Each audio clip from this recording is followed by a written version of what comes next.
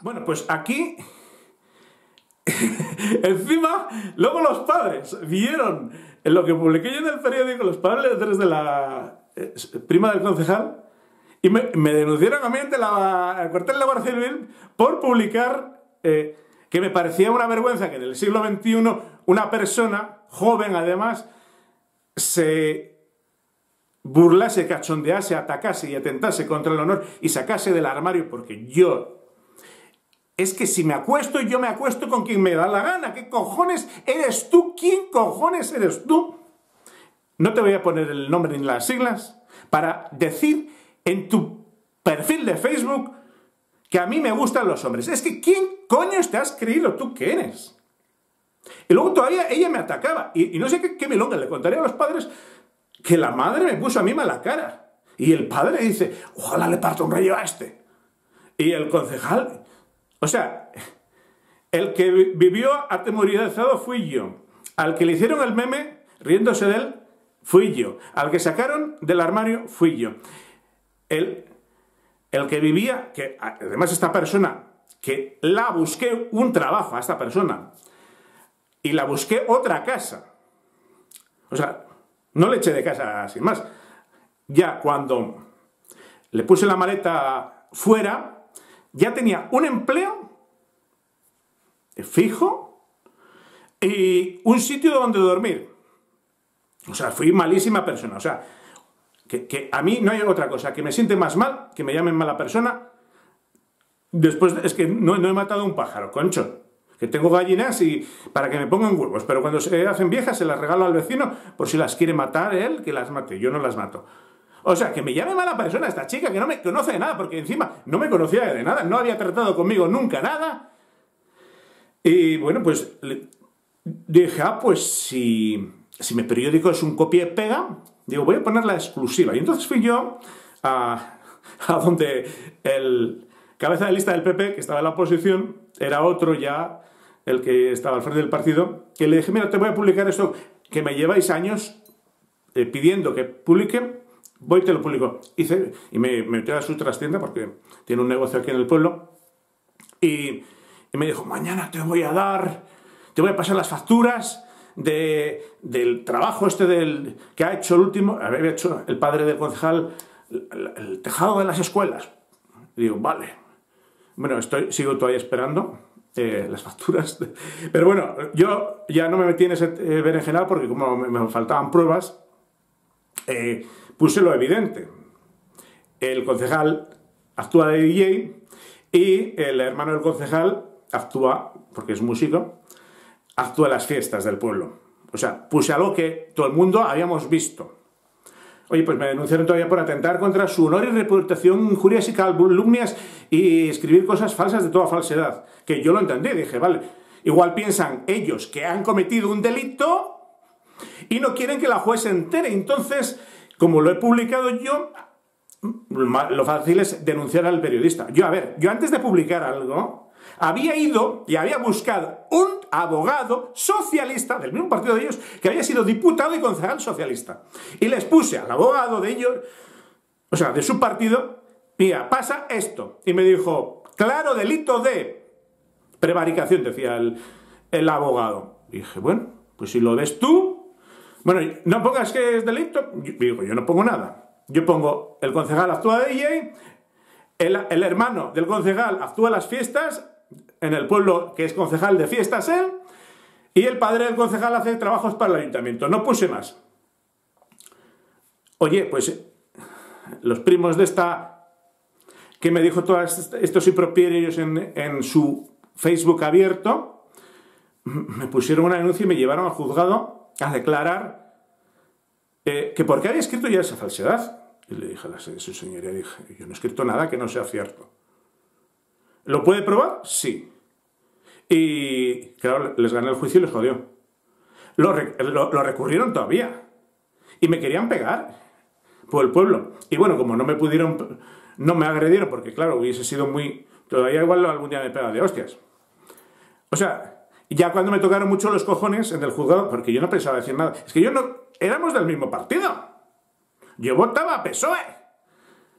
Y entendí que me pusieras una denuncia falsa, pues para que retirara. Pero claro, no puedes decir que me avenga Además que si esto mandas un escrito, concejal o alcalde, mandas un escrito, escrito de réplica al periódico mío, te pongo el escrito de réplica la semana que viene y no se entera nadie.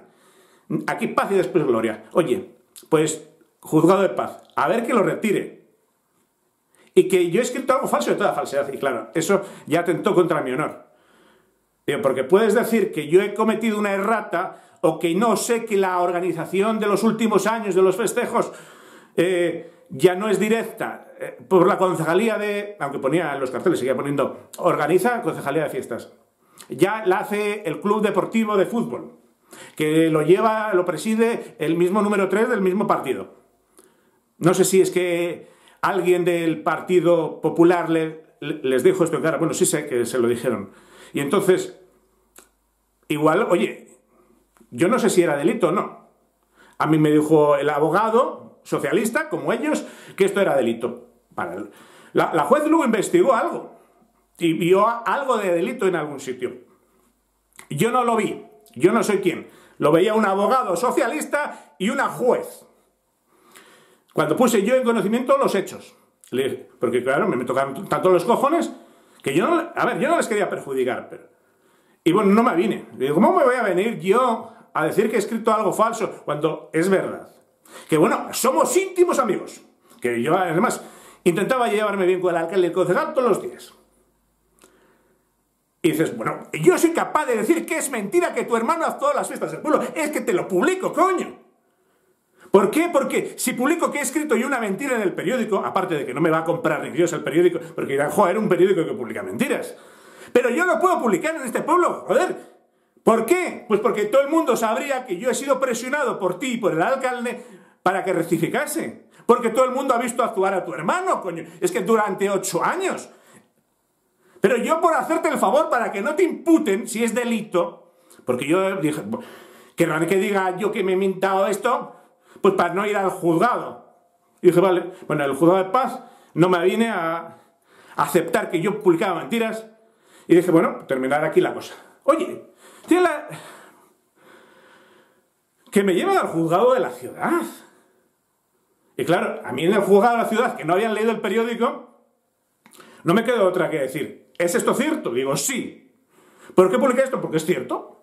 Coño, si es noticia, es noticia. Hombre, que el, hermano del concejal actúe durante ocho años, el, hermano del concejal de fiestas actúe en las fiestas del pueblo donde es concejal durante ocho años, pues no sé si es legal o ilegal, pero llamativo sí que era. Anda, que no han armado escándalo con lo de Ayuso, con lo de las comisiones, etcétera y que además el concejal de fiesta sea DJ en el pueblo, pues que puse la foto y todo, y si puse el cartel. Si es que cualquier persona con un poco de luces en un juzgado hubiese leído la noticia, hubiese visto las pruebas en la misma noticia. Pero bueno, el imputado fui yo.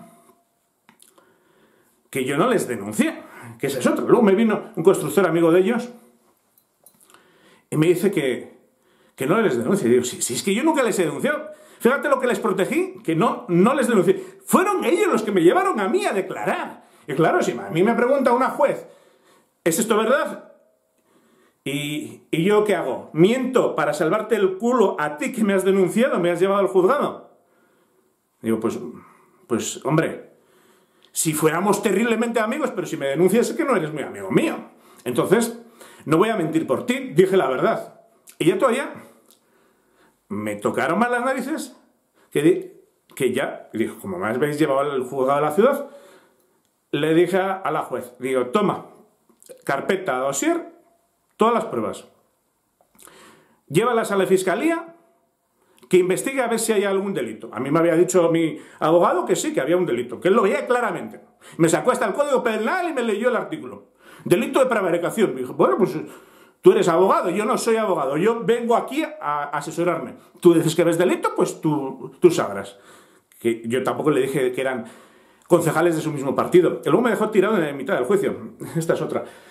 Bueno, pues hasta aquí eh, eh, el tema.